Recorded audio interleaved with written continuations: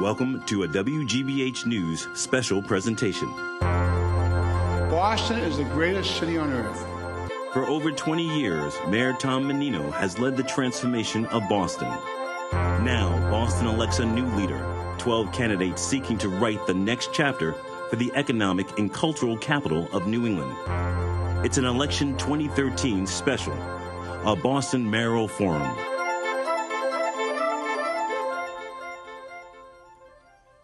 Good evening. I'm Emily Rooney. Welcome to our viewers on WGBH Channel 2 and our listeners on 89.7 FM WGBH Radio. All this week, we're hosting the 12 candidates running for mayor of Boston.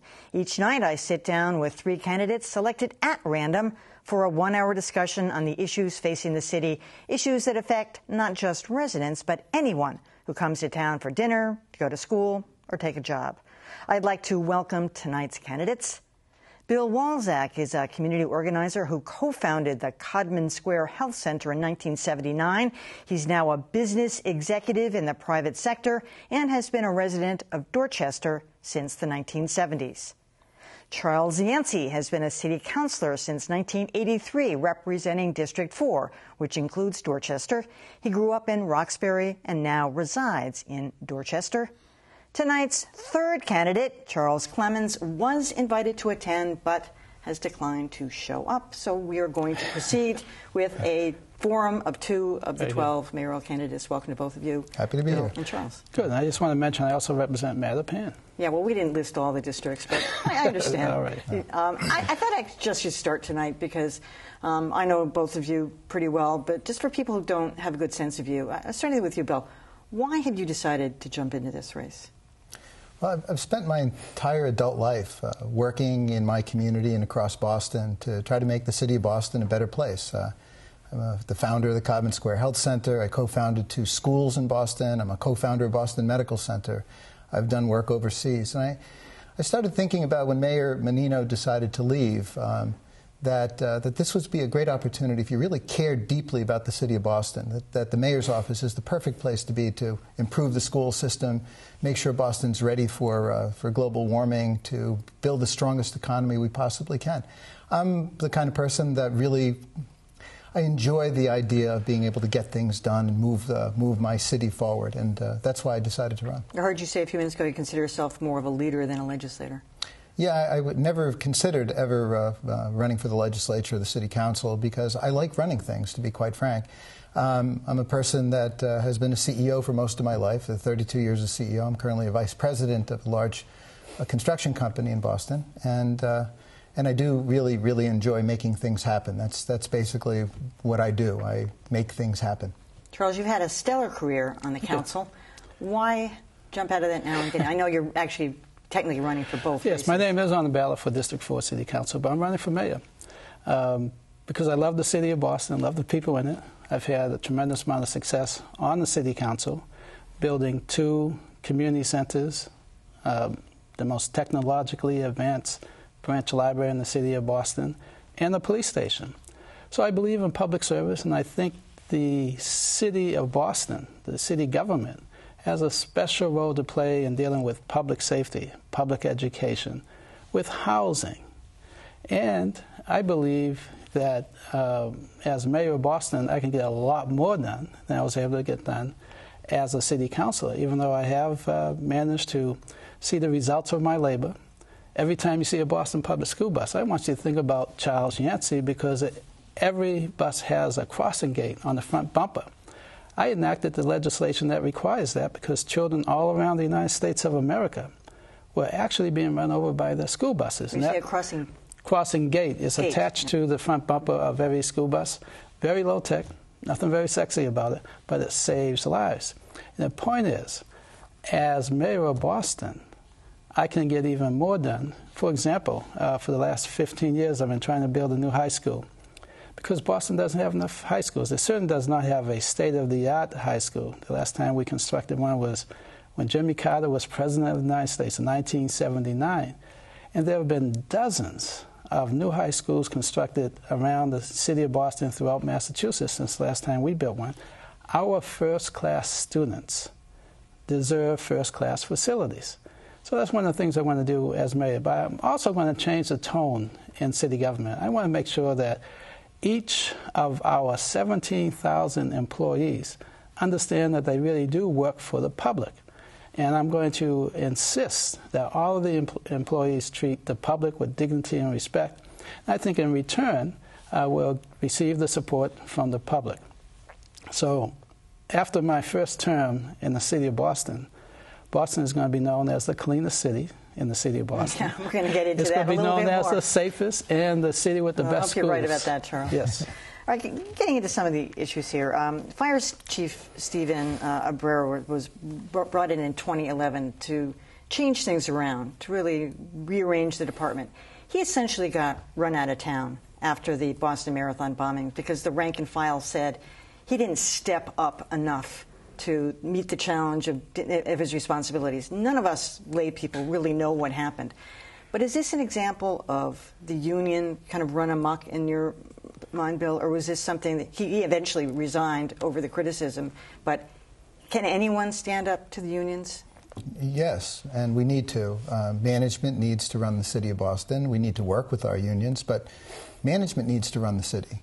And uh, and I can tell you that uh, I was aghast when I heard uh, it was a official from the fire department that said we've been doing these things uh, for the past 300 years. We know what we're doing. I mean, are you kidding me? Uh, this is not the way we need to operate a 21st century city. We need to modernize our fire department and we need to deploy our resources most effectively. So what we need is a top-down, you know, from the top to the bottom uh, evaluation of, of all of our departments. But if you're looking at the fire department, yeah, let's take a look at it. The Boston Globe had a, a story out a couple of weeks ago that talked about some of our barracks uh, having a lot of action, a lot of work done, a lot of fires that they report, uh, reported to uh, and others that almost had nothing. Well, that's a misdeployment of resources. We staff these um, fire stations for 24 7, uh, fully staffed. And we need to make sure that we're doing the good job of deploying the resources most efficiently, most efficiently, most effectively, and that's what good management will do. So my plan with the fire department is uh, we're going to take a top to down, top to bottom uh, look at it and make sure that we're deploying resources effectively, and and we'll also have to deal with the issue of who re, um, responds to uh, to medical emergencies. Right now, we have the fire department and the emergency medical services re- responding to these, and it seems to me a duplication of resources. So we need to take a look at that. There may be reasons why we do it, and there may be reasons why it's a waste of money. So we need to take a, look at it and make sure that we change the fire department so that it is a 21st century modernized and effective organization. In fact, there are some 34 stations still open. There were a bunch of closings, as you know, Charles, in the 70s and 80s. There Yes. haven't been in a long time. Yes. But Bill is right. Over 90% of the calls that the fire department responds to are non-fire related, Yes. which didn't used to be the case when you got to the city council. That's there was, true. There was But I- many more fires. Would you Yes. consolidate? Would you take even a step to close some of the fire departments? Uh, if necessary, after I review not only the fire department, but the police department, the EMS, even though they work out of the uh, Public Health Commission. But I would differ with uh, my good friend on the issue of responding to emergencies. The act of saving a life, I think, is paramount in all of this. So if there's a shooting or a stabbing near a firehouse, and the firefighters can get there before the EMS, then I want the fire department to respond. If there's uh, someone in cardiac arrest on the streets of Boston, and if a police vehicle can get there before fire or EMS, I want the police vehicle to arrive. I have, I have actually proposed legislation which would require every Boston police vehicle to be equipped with an automatic electronic defibrillator uh, because seconds count, as, as Bill knows. Uh, so I would uh, take a little bit of different tact uh, in terms of looking at uh, efficiencies. We must do everything Okay, possible Charles, to save lives. We didn't. We're not in disagreement. What I said was we need to evaluate. No, you're talking about most effective. duplication of right. effort. We, we need to make sure that we're given the deploying con- appropriately. Given the context of what's been actually going on in the city of Boston, city government, where there has been this tension between the EMS and the firefighters, and the fact that in many instances we have failed to deploy our fire uh, department to respond to some of these medical emergency, resulting They all in, respond. in But- one. but no, Charles, no, did that's you not true. did in, you in one instance, in one no instance, way- there was actually loss of life because the fire department did Well, not respond. Poor management. Yeah. I mean, did you know that there's no way to recall a false alarm? If I'm burning my chicken livers, there's no way, and then my thing goes off, there's no way to say it's not a fire. Shouldn't that, talk about a, a waste of resources. Shouldn't there be a way to do a reverse 911 and say it's not an emergency? Oh, sure. I, I agree with Can't that. do it. We I- also need to I look at the call boxes too, and you know, it, it seems to me that uh, call boxes are mainly a waste of time, waste of money. You know, we were looking at uh, call boxes when virtually everyone has a, a cell phone. So you know, whether we need them or not, and whether we're willing to pay the kind of uh, amount of dollars per per year that it costs to maintain that uh, ancient system is, is something that really needs to be evaluated. We need to deploy more resources towards the things that are important, such as education, early childhood education in particular. Uh, and we're going to need to find the dollars somewhere. So we need to take a look at every department, top to bottom, take a look at what we need to do, what we don't need to do, how we measure our success, uh, the, what are the metrics of that, and, and, uh, and make sure that we're only spending the money we need to in order to achieve our goals. You know, very recently, my colleagues um voted to spend $13 million to purchase a building which will result in the construction of an elementary school, which we all support. The question I asked of my colleagues is that why are we voting on this today before we have an opportunity to review an independent appraisal? Because that particular property was assessed at 5.7 million, yet we're spending 13 million. Did not provide the public with an opportunity uh, for a hearing, and voted on it uh, without the benefit of an independent appraisal. That's another example of how money is wasted. Uh, back in the year 2000, the Boston City Council approved a loan order to construct a high school. At that point, the high school would have cost $57 million. And back then, the state would have reimbursed 90%. so it would have cost 6 million. Today, that same The, the fire facility. department is 175 million, and let me just press you on this one way. Sure. I mean, is the union so intimidating that people don't want to push back on them? I would say no, and a lot of it does depend on who the mayor happens to be. Um, I don't think there's anyone in city government who would accuse Charles Yancey of being afraid to stand up to anyone. And I would certainly challenge the unions, but I would also challenge the rest of our bureaucracy to make sure that they understand that they work for the public and not the other way around. I'm sorry, sorry Charles Clemens isn't here. He declined to show up for some reason, but uh, he has charged, as I'm sure you've seen, that the Boston Police Department is racist.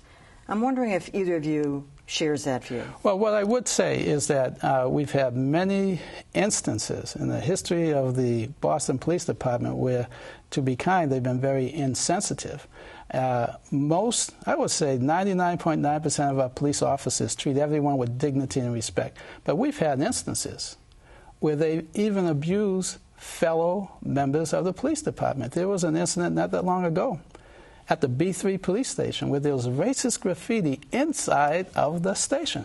That is not acceptable. So But is the I would, I would, I would, I would insist, as mayor of Boston, that we have a system in place that not only requires all of our police officers to, uh, to be culturally uh, uh, appropriate in dealing with people, but also have a system of checks and balances where we have a civilian review board if individual police officers abuse the authority. But our police officers deserve the support of the public. They risk their lives every day, and Well, I I think- certainly, weigh in I think certainly the issue on this is really about leadership, and it always is about leadership as far as I'm concerned. The, um, the reality for me is that we have Ed Davis, who would, uh, has told, in fact, it was in the Boston Globe uh, yesterday morning, I believe, or this morning, where um, The Mass Association of Minority Law, that was right. Mamleo, the Mamleo, Yeah. his response to Mamleo, about you know that he he in fact when he's able to um, to appoint uh, leadership, he appoints a very diverse leadership. I think the bigger issue here is that we have uh, an archaic system of civil in civil service, and the archaic system is that we have this test that determines whether someone can be promoted or not, and it's a numerical score.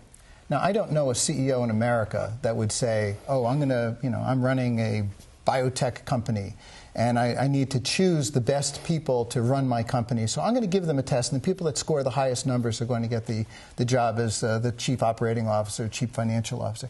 No, that's not how it happens. What we need to do is make sure that we're able to allow our superintendent of police or commissioner of police to be able to hire a good team of people that will lead the organization. But and I've asked the governor, I've asked the governor to to uh, to convene the Civil Service Commission to be able to take a look at a different way that we can do this. So harm, you know, we need to make sure there's good chemistry between the leadership of, of the police department.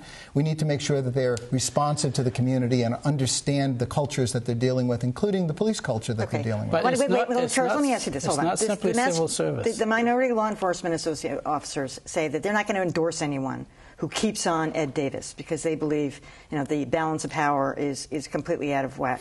Um, are you looking for their endorsement? Well, first of all, they don't endorse any candidate. They're a nonprofit 501c3. So the answer to your question is no, I am not seeking the endorsement of Mamleo. However, uh, I happen to agree with them that we've had many examples where there have been missed opportunities to promote a more diverse command staff. There's been missed opportunities to address instances where the, uh, the, it's pretty obvious that there's disparate treatment within the police department.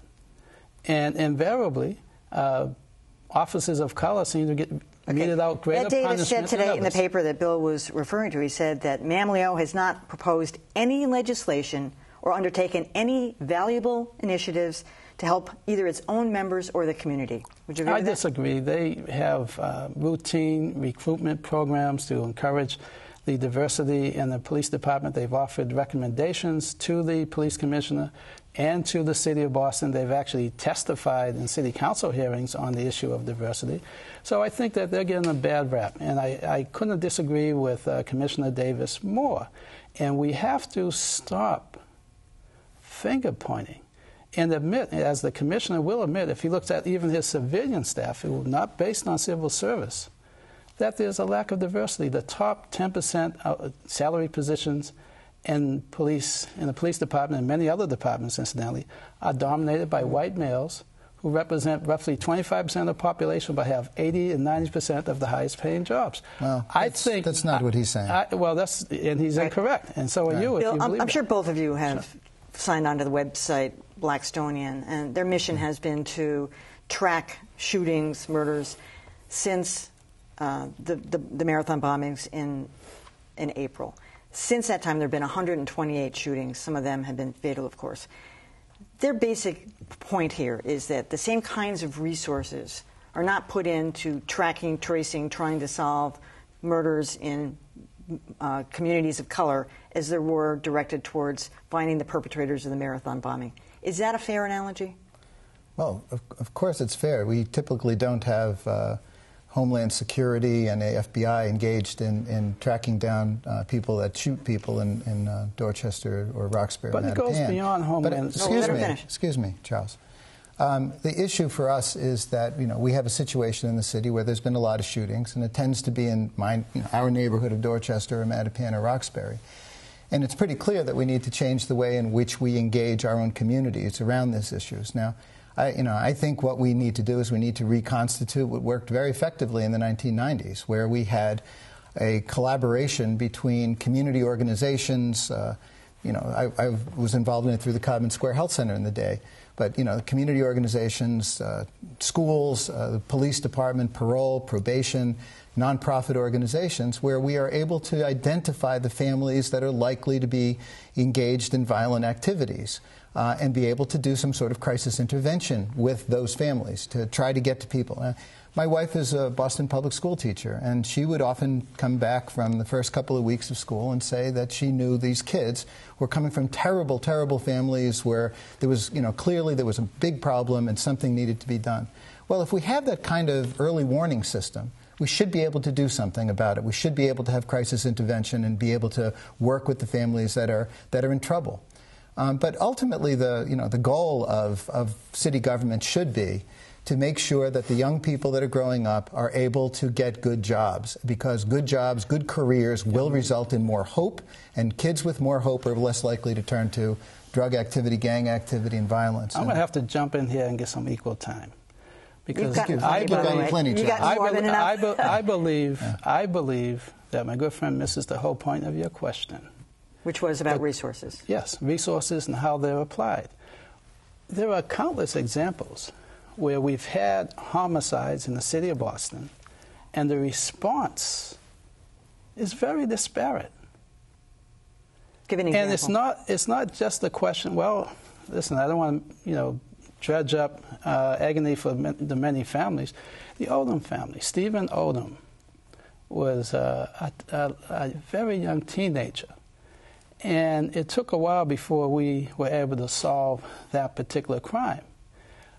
My point is that if you take a look at the response to that horrific homicide that took place in South Boston with a beautiful young lady, compare that with the response to several other homicides in other parts of the city, you have to reach the conclusion that one life appeared to be valued But higher. one was a higher sexual than predator others. still on the loose. Yes. There's a little bit of a difference. And the No, no, no. The Odom sexual, case excuse was- me. was very- sex, very sexual, much sexual predators are in every community, and I'm just saying that. In, in, in that particular case, that predator was actually uh, caught and then released. The victim was was a, a non-white person, but I believe that whether we like to admit it or not, that we live in a society that unfortunately uh, has, still ha suffers from forms of racism and sexism, and we cannot put a blind eye to it. And that's all you the know, more. Charles- that's all the more reason. Don't Charles, interrupt. I- don't interrupt me.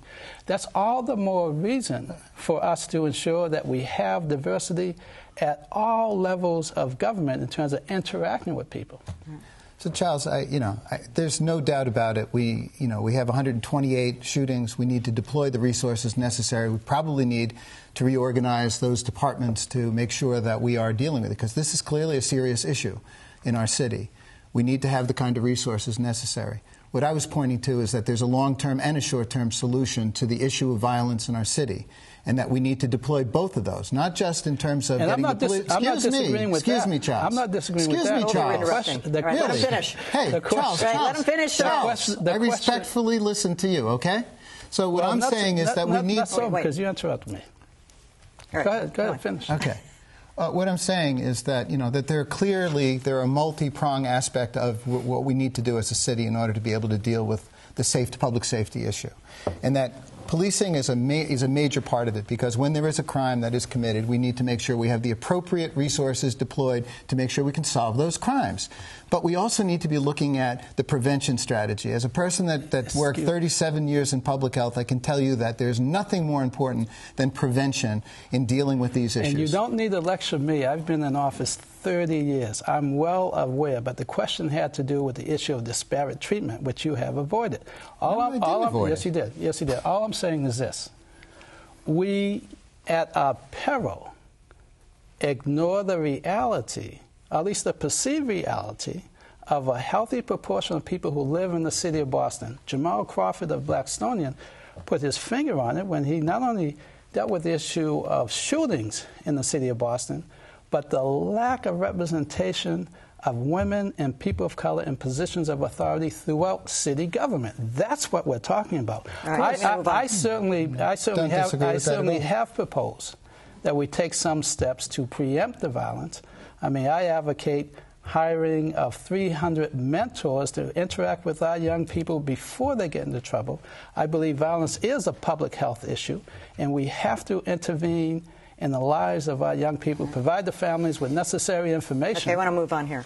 If you're just joining us on radio, you're listening to a Boston Mayoral Forum special. I'm Emily Rooney, and I'm joined here by candidates Bill Walczak and Charles Yancey. Tonight's third candidate, Charles Clemens, declined to show up, and we are hosting the other candidates later in the week. I, just one more Yes. uh, question on crime, because I'm sure you both saw in the paper today that the uh, state Supreme Judicial Court is uh, considering uh, supporting a prohibition on life sentences for juveniles committed, uh, convicted of really heinous crimes, like like the John Odgren case out in uh, Sudbury, w- without parole.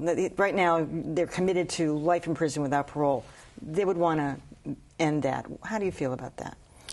Well, I, I think that uh, people, are juveniles, um, obviously in a different category uh, than adults, and there's a reason why we have a ju- juvenile justice system that's different from the adult justice system. Now, I don't want to see uh, people that have committed heinous crimes uh, be let out uh, uh, with, with very little sentencing. But I do think that it's a responsible thing to do to take a look at how we, you know, what, what happens as a child grows up in, in, the prison system and whether there's a chance of reform. I think that that's, that's something that we owe the, our system to be able to allow them to evaluate whether this is a reasonable approach or not. So, I, yeah, I'm, I'm, I'm, also opposed to like uh, three strikes and you're out laws um, because it, it, just doesn't give enough flexibility to the system to be able to make determinations long uh, later after the, uh, after the sentence actually occurred. Charles? I certainly don't agree with that.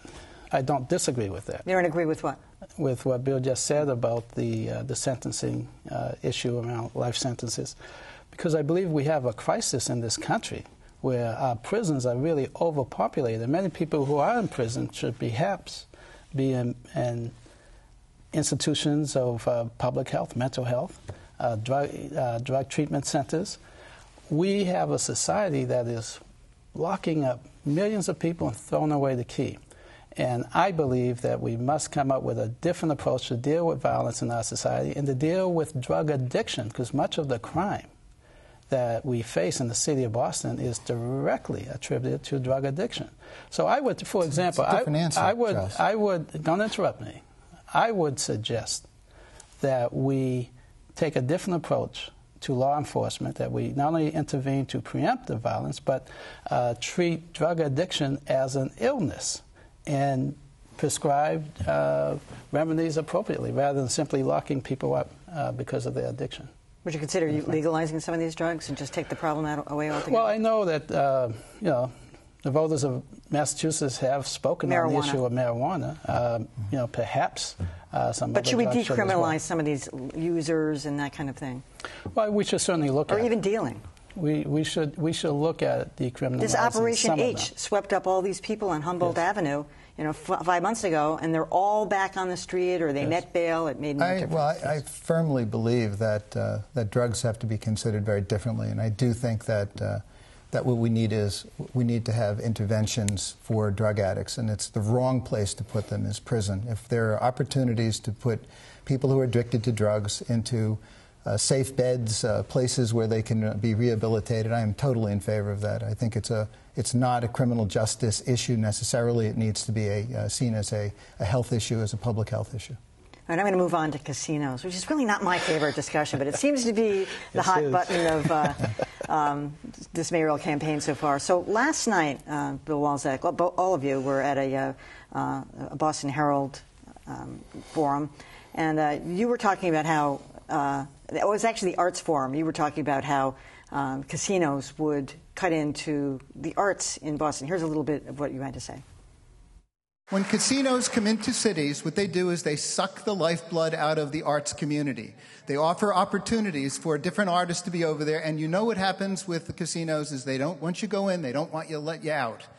And so what happens is that uh, in every city where a casino has been uh, located, the arts community has suffered, including upwards of 50% lower revenue because of the fact that the casinos are driving business in that direction so that people will go there instead of to our local community artists. Besides the fact that it's hard for me to imagine that somebody there's an either or I'm going to go to the MFA or I'm going to a casino. What about if East if Everett gets the casino, it's still only another half a mile away from Boston, so it would cut into the arts in the Boston area with none of the benefits. So at least if it were in Boston, we would still be getting some of the benefits of the revenue, and it still might cut into the arts community. But if it went to Everett, none. Well, I mean, there is a third proposal, uh, Milford. That's uh, that's um, that's that's a third proposal. I, am opposed to casinos on a number of grounds. The arts community had its uh, um, event last night, a forum to talk to the uh, to the people that are running for mayor. And so I wanted to point out the fact that in every city where a casino has been located, the arts community has suffered, that the amount of revenue going into arts, artists and, and local community arts programming has gone down. And, uh, and it's directly related to when the casino has, has gone in. Um, because so, people are spending their expendable income on casinos, or they're going to see art They're going to see right. musicians. And in fact, and- um, in fact, the, the head of uh, uh, Caesar's Palace said that you know we are a big artist group. We bring arts into Yeah. our and we want people to visit it. I suppose people have a limited amount of dollars that they have available to do to go to these types of venues, and and they'll decide to, to go to the casino for it because it's usually um, it's usually discounted. They want to bring people in there so that they'll stay there, so they'll listen to the music, and then they'll go gambling. And then they don't put windows or, or uh, clocks on the wall so that people don't have an understanding of when they're leaving. But the issue really for me is that, you know, first of all, um, what we're doing is we're allowing a, if we allow this, we're allowing a casino to come into the city of Boston.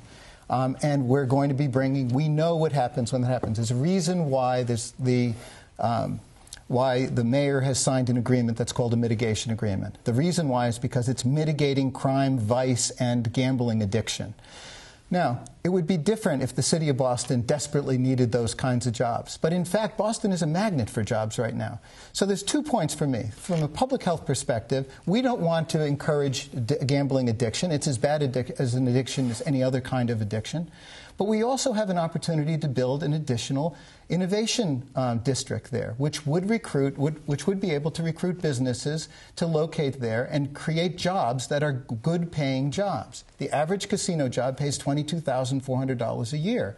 An innovation district job, a typical, is but about that ship has sailed. The legislature has already approved the building of it. Emily, No, no, that's not true. That, that's, that's not true. The legislature approved the gambling uh, legislation, and the gambling legislation says that there needs to be a mitigation agreement and a vote, at which point the decision goes to the Gaming Commission, and next April they'll make a decision Oh, no, as to I'm which, saying- which license No, they're no, going no. to issue. But they've already decided there's going to be a casino. Emily, in metropolitan Yeah, Boston Metropolitan. somewhere. Yes. Emily, you have it right. Uh, we know that uh, casinos are no panacea, and I agree with Bill of some of the negatives of these casinos. But it's obvious to me that the casino is going to either be in Boston or in Everett. If, Not if Milford, it's placed, no, I'm not a fan of Milford. I hope, hopefully, they're not watching. if it goes to Everett, then we suffer all the negative ills of a casino with very few benefits. So if we're going to have a casino in Greater Boston, I'd rather have it in the city of Boston where we can negotiate those agreements, including the mitigation agreements. And I think they should go beyond East Boston, incidentally, because people from throughout the city of Boston uh, are likely to use that casino and suffer uh, the cost of doing so. Uh, I also believe that when a vote is taken, it should be a citywide vote because the taxpayers of Boston will have to foot the bill for the increased public safety and perhaps public health costs related to this. I think everyone should be in the city of Boston should be able to weigh in too, on right? this issue. I, I believe in the, there should be a citywide vote, but I believe that we should stop the casino Yeah. because we don't. Why would we want to bring in vice, crime, drugs, uh, and uh, gambling addiction into our city when we don't need it? People don't come to Boston because they want to uh, gamble. You know, we're not going to see people flying in from Dubai or Paris to come to Boston to, to gamble. We have people coming to Boston because we have great institutions, healthcare institutions, universities. We have history. That's why people come to Boston. And I agree The with target that. for the casinos will be the people who live on the subway line who are going to be able to get on one uh, on the orange line or the red line and get over to the Suffolk Downs and be able to gamble. Why can't you have We your don't need that. innovation hub too, as and, well? And can we have in other We parts can- of the city of Boston that are desperately in need of that type of development? Yes. The people who are going to the casino, or likely to go to the casino, are also going to Foxwood and Mohegan Sun. Why Not on the subway, Why Charles. not? I didn't say the subway. You not, right. No, you said the gonna- subway. yeah. I'm just saying the people from Can't get to Boston are going. subway. Oh, really? Thanks for that. You're a brilliant guy. Uh, the people, in, the the obvious, people in Boston, the people, many people in Boston do travel to Foxwood and Mohegan and, and elsewhere. So we have the opportunity to retain some of that income as well. That that leaves the city of Boston to go to those other venues. And gambling addiction. And gambling crime, addiction. And crime. And vice. And By the vice. way, uh, Yes. one of your uh, challengers, um, Marty Walsh, wants to establish an Office of Recovery Services. I mean, so wouldn't you be creating the problem and then solving it by yet another we layer of we need those recovery bureaucracy? services today, even without the, the casino. Why? And that will, We, because we have we hospitals and resources, and, and why does the don't city have and to we take that don't have adequate number of beds for people who are addicted to drugs. And I believe that we need to increase the number of beds in that area. But should that be the city's The responsibility or the million public? dollars in should mitigation dollars that, the, the that, uh, responsibility. that, that Suffolk Downs is offering the city of Boston will be easily spent on police overtime and gambling addiction services that will have to be provided by the Boston Public Health Commission. That's what's going to happen to the money. So the why we would ever do that, why we would ever create the problem and then use the dollars to mitigate the the problems that are being created when we can avoid it altogether and create good jobs, to me is a complete mystery. I don't understand why All we right. are even entertaining the possibility of a casino in Boston. All right, moving on here to what I'm calling the nuisance round. We're all Bostonians, so there's a long list. I'm sure you have items on your list because I don't live in your neighborhood, you don't live in mine. But here's one that I think, Charles, you brought this up. This is pretty universal in the city. Charles, you have said that um, when you become mayor, you want to make uh, the city the cleanest in the world. I'd like to know how you're going to stop that. When right now, no one who smokes ever thinks about extinguishing their cigarette anywhere but on the ground, especially around the sidewalks and you know the tourist area. It's all in between the cobblestones and everything. Everybody drops their coffee cups, Yes. and they have somewhat fixed the problem of the overstuffed litter boxes. But on marathon weekend or something like that, it's a nightmare. How do you get into the the, the, into the minds and hearts and souls of Bostonians that it's not okay to drop your litter. Well, that's an excellent question, and I believe that we can do it. And I think that we have to lead by example, not just the mayor, but the 17,000 employees working for city government can play a role in keeping the city clean. We have to invest more in the Hokie so that every commercial district has someone who takes a special pride in maintaining those areas. And I have to commend uh, the organizers of the bid uh, for, uh, for downtown Boston. They are doing a very good job. Not only are they keeping the area clean, but they're also contributing Where is this? to in downtown Boston. Business Improvement District. Well, maybe that, but certainly not in the Newbury, Boylston Street area. It's, a, it's a, Well, all right, moving in- on to in other, downtown Boston. other So it is nemesis possible. and Okay. nuisances. Segways, Bill Walczak, would you ban them altogether or allow them to go up and down certain sidewalks under rest- uh, in restricted areas? Um, I, I, you know, I've seen them on the sidewalks. Uh, I think that they travel too fast to be on sidewalks. It's the same reason why we don't allow bicycles on sidewalks. I think we should, you know, if they're going to be going anywhere, they should be considered motor vehicles and be on our roadways, I suppose. The big issue, I guess, is whether they should be banned altogether from Boston. And I know that there's some neighborhoods that would love to see them go away permanently. I think the North End, uh, in particular. Uh, and maybe there's certain sections of the city where it's just too crowded to do it. I mean, this is the kind of thing where you really need to have the community weigh in. It's, it's about planning, it's about master planning our city. And, uh, and I do think that it's important for, uh, for people to be able to weigh in. If it's a nuisance, hey, then don't have it. You know, there are probably other sections of the city where it's not a nuisance, but Huge nuisance. Motorcycles and motorcycle noise. They come in uh, with absolutely all you know with the aftermarket pipes and they're roaring up and down Yes. the tourist areas. People can't hear themselves think. How th- there are rules and regulations. They are not enforced. What would Well, you do? I certainly would enforce all of our noise ordinances, for example, as well as all the ordinances we have regulating scooters. Uh, there's uh, not just the motorcycles, but you may recall 10 years ago, we were invaded by these mini scooters that looked like they were about four inches above The ground. razors ground. you're talking about? Yes. Um, and I got legislation passed to require anyone on a scooter must not only They don't have make a any helmet. noise.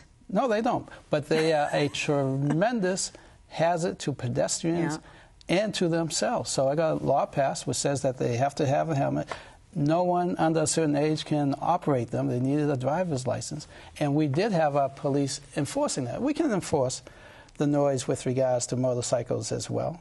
Uh, it's difficult, but, uh, but it is doable, right. particularly if Next nuisance. I got to move along. says, Yeah. take care. Parades, rallies. They're in the same neighborhoods. You know, some, sometimes weekend after weekend after weekend, including this past weekend, there was one that I think it was a follow up to the marathon bombing, which is fine. I'm all in support of that, but there's no signage anywhere to let you know that Copley Square is closed. You're in the Pru Tunnel, you come out, you take a left, you are instantly in traffic for another 25 minutes because you've got to go around and around and around. Is there any way to a limit some of those things and make better notice for people? Yeah, one of the things that kind of drives me crazy is that we don't have a way of warning people when they're, like, for instance, about to get into a huge traffic jam. There should be some kind of sign. I mean, you know, we have signs all over the place. Now we know how long it takes to get to the Braintree mm-hmm. interchange on the expressway. It'll say, you know, seven miles, eight minutes, or whatever you know, we need to, if there's going to be a parade, if there's going to be a special event, part of the deal should be that you put a sign up that allows you to at least know that you can avoid this if you keep going straight and get off at South Station or whatever. But I do think that that's a, it's a real nuisance. I wish on the expressway heading into town that there was a sign before that big bend that would say, hey, you're about to head into Don't a really big traffic jam. Get off now while you still can. All right. But I enjoy those celebrations, and I know Bill and that's I not, agree. That's fine. I enjoy yes. the celebrations. I just, if I don't want to avoid it, I just want to be able to. right. Public bathrooms, yes. Charles Yancey. Yes. We did an unofficial survey that was absolutely shocking. And they don't work. They're disgusting. All those self-cleaning mechanisms are bogus. They don't work. The city is making a fortune off the licensing. The, the people who manufacture them are making a fortune off the advertising, and you can't use the bathroom. I say cancel the contracts if they're not maintaining them. I mean, we have worked with an organization called The Wall. They made all sorts of yep. commitments to us. As mayor of Boston, I will enforce every contract. And if uh, those bathrooms aren't being maintained, then we'll put, the, put it out to bid again to find uh, a vendor who could do a better job. All right. I have many more nuisances, so we've got to we got to move on to some other things. All right, if you're just joining us on radio, you're listening to a Boston Mayoral Forum special. I'm Emily Rooney, and I'm joined here by candidates Bill Walczak and Charles Yancey. Tonight's third candidate, Charles Clemons, declined to show up. We're hosting the other candidates later in the week. Moving on to some of the uh, important issues here education. Um, many people have said it's just, a, I think yourself included, it's, it's a huge bureaucracy, more so than in other agencies. And isn't it because it is so large and it's hard to wrap one's hands around? I mean, how would you like to be? Wouldn't you rather be the mayor than the superintendent of schools? well, well, yes, of course. Uh, the school bureaucracy is a very complex bureaucracy, and it doesn't need to be. Um, one of the things that we have learned is that successful schools are driven by really successful principals. Um, so, you know, my plan for education really is about starting from pregnancy because I strongly believe that one of the problems that we have in the city of Boston is that so many children entering our school system are not prepared to enter school. They're not, they have not been prepared appropriately to enter school. So, but it's the healthcare system that deals with children from the age of, well, from pregnancy up until age five there, or thereabouts. And so what we need to do is make sure that we're connecting the healthcare system to the education system. So we're dealing with, especially in impoverished families, with the issues of, of um, adverse childhood experiences that often lead to trauma, which can affect brain development. And if the doctors and the principals and the teachers and nurses are working together, they can make sure that children are actually prepared to enter school. We also need to make sure in this city that we have early childhood education. We know that two years of good early childhood education will result in a 30% increase in uh, graduation rate from high school. We need to make sure that the schools are where the change happens and that they're led by great principals who lead great teams of teachers. We need to have tutors in every school to make sure that the children don't fall behind. And finally, what I'd like to do is I'd like to create 11th and 12th grade academies in our city so that every high school actually has a track into a career, whether it's a track into, you know, like sort of vocational education, plumbing, electricity, or a pre-pre-med high school, or a uh, telecommunications, biotech, high tech, whatever. We have the potential in our city to do this because we have such great resources. My plan for the city, uh, city schools is to make sure that every child in high school has a chance for hope, for a career. And that'll also deal with the issue of criminal justice. Yeah, you, you rightly said that we are woefully uh, undermanned when it comes to high schools. We, yes, we, Boston yes. needs a high school. But, but I, I, I, want to address the issue as well because um, Hillary Clinton told us of, of the old African proverb it takes a village to raise a child. And I know uh, certainly Bill agrees with this. We must all uh, consider education to be, everyone's business. Um, since 1987, uh, my wife, staff and I have been hosting an annual book fair. Not a big deal. Uh, we pull families together. We give them book bags and brand new books. We've been doing this since 1987. We're in the 27th year. We've distributed 570,000 new books to families, primarily pre-K. And we run into families almost every day in the course of this campaign for mayor where we run into individuals who started as a youngster graduated from uh, high school and then college, and they point to the fact that it was the encouragement that we gave them by providing them books to build their own libraries and to become independent thinkers that contributed to it. Small thing, but very important. Everyone can buy a book for a young person. Yeah. Preferably read to them. And I don't disagree with anything that Bill just said in terms about what needs to happen. I would add, however, that far too many people have been disengaged from the school system when we went from an elected school committee to an appointed one. Let that was be my next question. Do you think we should go back to I think elected? we should have an elected school system like all the remember successful. Remember what a morass that was, me, Charles? Excuse me. I remember. Excuse me. Uh, every other city and town in the Commonwealth of Massachusetts. That wasn't my question. Well, I'm, Remember I'm what answering, the political I'm, answering, I'm not talking about going back. I'm talking about going forward. I mean, if the appointed school committee was so great, we would not have any major problems in the school system today. We still have upwards of a thousand people a year drop, dropping out. Don't interrupt me. Out, dropping out of school. And I believe that uh, in elected school committee would engage more of our voters to take more of a stake what's going on. And by the way, no mayor, Mayor Yancey or anyone else will have a monopoly of knowledge or wisdom in terms of dealing with the schools. And I don't believe that a mayor is going to lose his or her seat because of the performance of the schools. What we need to do is to get more people re-engaged. And, and we also have a law that was passed in 1994 that says that parents can take three days off of their jobs to visit their schools during school hours. It's called the Parental School Leave Ordinance, and I believe by engaging more parents in the school system, we will assist our children to become more successful uh, in their academic careers.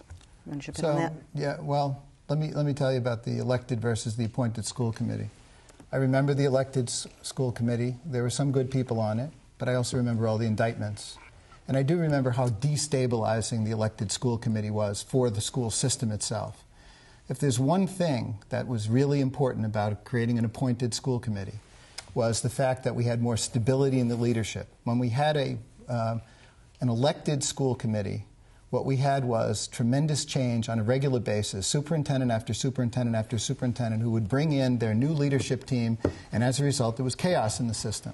What we've been able to do by having an appointed school committee is bring more stability into the school system, which is really essential if you're going to be able to move an agenda forward. You've got to have stability. We definitely need stability, but we need stability with regards to each of our schools. Now, there's an exam school in the city of Boston which had more than a half dozen headmasters in the past seven years. That's not stability. That's not stability. Yes, we've had a, stability with the superintendent, but we still have far too many underperforming schools in the city of Boston. So much so that folks are gravitating towards charter schools, similar to the one that my friend created. And I believe we have to invest in the Boston public schools. One of the things that happened under an elected school committee, which doesn't happen anymore, and I'm an authority on this.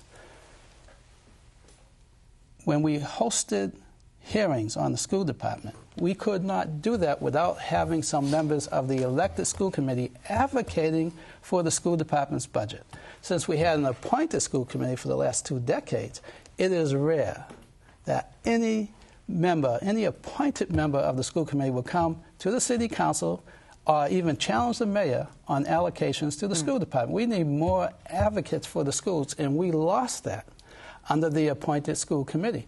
And we've had many we've had many successful students out of the Boston public school system under an elected right. school committee, yeah. just as we do in suburban areas where, where they get to elect their school committee. All right, if you're just joining us on radio, you're listening to a mayoral forum. I'm Emily Rooney. I'm joined here by candidates Bill Walczak and Charles Yancey. Tonight's third candidate, Charles Clemons, did not show up. I want to ask you a couple of questions. Uh, Mayor Menino this week announced uh, a goal to build 30,000 um, new housing units by 2020. He released his blueprint, and he said that before. This time he actually released a blueprint.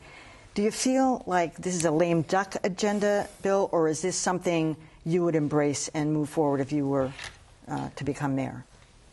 I think it's really important that the mayor be, uh, Mayor Menino, be very well aware of the fact that he's not going to be there as in January, which is only a few months away. And therefore, I'm not opposed to continuing the machinery of city government to continue to plan, to be able to understand how to develop things. But I would like for the mayor to allow the next mayor to be able to evaluate how these things are going to come together and be able to figure out how it's going to happen. It's just the same thing with the mitigation agreement with the, uh, with, about the casino. It's like, you know, planning this thing, making it happen, and then leaving it to the next mayor to implement it is not very fair to the next mayor. So, although I would say that it's very, very important that we have uh, the units of housing developed, I would like to make sure that what we're doing is we're doing it in a methodical way and leaving enough for so that the next mayor can manage the how this is going to happen. And so I'd ask him to slow down especially slow down in allocating the, the licenses for building these major buildings that are going in downtown Boston. Just slow it down a bit and see what can mm-hmm. happen because I think what we're doing is we're approving many, many new projects for downtown Boston, and I don't think all of them are going to be able to be built because it's a lot of projects that are being approved right now. We need to make sure that it fits in with an overall scheme, an overall goal for, for the city of Boston and how many units and where they're going. And that's going to, you know, with the redeveloped Boston Redevelopment Authority, we're going to have an opportunity to revisit that whole agreement. And so, please, Mr. Mayor, slow down. Let be more methodical about it. Leave more of this to the next mayor to implement. Would you embrace it, Charles Yancey? Well, we know that we're going to be stuck with it anyhow, whichever way it goes, whether he's active on promoting this or not. I, am concerned even with what the mayor proposed because I don't think we have enough uh, enough units allocated for low-income residents. Uh, and I believe that we should develop a formula that creates an environment where more current residents of the city of Boston can afford to live here. The rents are exorbitant. Uh, before you know it, every neighborhood of Boston will be gentrified, and only people uh, like Bill Walczak will be able to live here. I'm, I'm, I'm, living here. um, enforcing residency requires char- requirements, Charles. I mean, yes we have talked so much out of that we've priced people out of yes. the market other than fairly affluent and yes. poor people and middle yes. class are having a hard time moving into the city unless they're willing to be in outlying parts of the city. How would you enforce those residency requirements, and is it really necessary? Well, I would say yes to both questions. Unfortunately, we were hopeful that by enforcing residency, we would not need it in the future, but the reality is that every day roughly 500,000 people come to Boston to get the best paying jobs. And unfortunately, even within city government, many of our departments have uh, uh, more than 30% of people who don't live in the, in the city of Boston, you know, because of different negotiated agreements and contracts, etc. I believe that Boston residents should be given the opportunity to work jobs, work in the jobs of providing public service and that's limited. Mm-hmm. By the fact that uh, we have a lot of good, committed people who happen to be suburban. Okay, would you support who that? Who are taking bill? jobs that Boston residents can, I do, do support it. residents. You would require. Yeah, yeah and I'm, I'm saddened that uh, the mayor um, negotiated out uh, the police so that the police could uh, leave after 10 years. I think it's really important that we have our police force living in the city limits. Okay, a couple of questions I put in the miscellaneous category, oh, and I want quick answers here. Sure. How do you feel about gender neutral bathrooms, public gender neutral bathrooms? It's been an issue uh, in the State House. It's been debated, uh, yes or no? At the Codman Square Health Center, we only had gender neutral uh, Outside, bathrooms. I mean, out, you know. Yeah, yeah I believe in gender neutral bathrooms. I think that's, I would say, unfortunately, the wave of the future. I think it's inevitable. So, yes, I, I would, uh, I support would support those. Yeah. What about these parklets that are going up in certain communities, taking away two parking places? Putting these, uh, you know, rolling out the sod with a couple of benches, is it condescending in a way or is it charming? I don't think it's charming. I, I would definitely not uh, go forward with them. I, you know, hey, some people might get a kick out of uh, sitting in a, on grass in a parking lot space, but I can't imagine that it's worth the money. Yeah, is it a waste of par good parking or? Well, I, listen, we all support greenery. I think we should be planting more more trees in our areas in addition to those little pockets. How about, so, so I, you support the parklets? I'm not opposed to that, no. Yeah. I'm not. Yeah. What about this idea that, you know, closing down nightclubs or closing down some of these electronic music shows is a way of combating the use of the drug Molly? Is that a way to proceed, Bill? I, I don't think so. I mean, these clubs existed before there was Molly, and there wasn't Molly. So I, I think it's uh, more important that we educate the, the people that have potential for using it and also educate the people that are running these clubs to make sure that they're very well aware of it. The fact that they pulled the license from, uh, from one of the clubs uh, is an indicator of how serious this is, and I think it'll send a, a shockwave across the entire system to make sure that we are very well monitoring how uh, drugs are used within our clubs. And I agree with Superintendent Flynn of our police department. Um, I don't believe that it's practical uh, to regulate uh, that type of activity with, within uh, any of our establishment, but it does go to the point of management. Now, if we can see a pattern of abuse, not only with that drug, but with any drug, then certainly uh, that institution, that facility should be subjected to suspension. Right, I want to end on something a little more fun. Good. Would you, Charles Yancey, support a 2024 bid for the Summer Olympics here in Boston? I would enthusiastically support it. It would be a major, require a major investment on the part of the people of Boston, but I think it would be worth it because we can plan uh, for life in Boston after the Olympics is here and provide facilities that may even help us with a, a brand new uh, high school facility. That can be There one you of the That's venues. a ways away, though. That could, Right. that could be one of the Bill Bill venues. Walczak, 2024 Olympics. Well, here's the issue for me. I think that most of the time they they cost way too much money to pro- provide for, uh, to be able to provide for the Olympics to be there. But Boston is in a really interesting position in that we have all of these for, for Summer Olympics. We have all these universities with all these dorm rooms and lots and lots of uh, uh, field facilities that could be used. I think we could package something that's a very low cost alternative. If we're able to package that, then I'd be in favor of it. If not, no. Probably not. All right. Charles Yancey My and Bill pleasure. Walczak, thank you so much for coming here tonight. and joining And us in our thank you for having We us, and I appreciate it. your support on Nov- on September September, 24th all right. for Charles Yancey for mayor. All right. Well, Number that two on the ballot, Bill Walczak. concludes our second Boston Mayoral Forum. Forum. I want to thank both of you, Bill Walczak and Charles Yancey. As you said at the start, even if you don't live in Boston, the city plays a vital role in our region's economy. The next mayor will have influence well beyond the city limits. So please come back tomorrow night. I'll be joined here by Dan Conley, John Connolly, and Charlotte Golar Richie. The three remaining candidates will be here on Thursday. If you missed last night's forum, it's available on our website along with all our mayoral election coverage. That's at WGBHnews.org. Just a reminder, as our two candidates here said, September 24th is the date for voting on the preliminary. Thanks for watching on WGBH Channel 2 and listening on 89.7 FM WGBH Radio. I'm Emily Rooney. See you tomorrow night. Good night. I almost said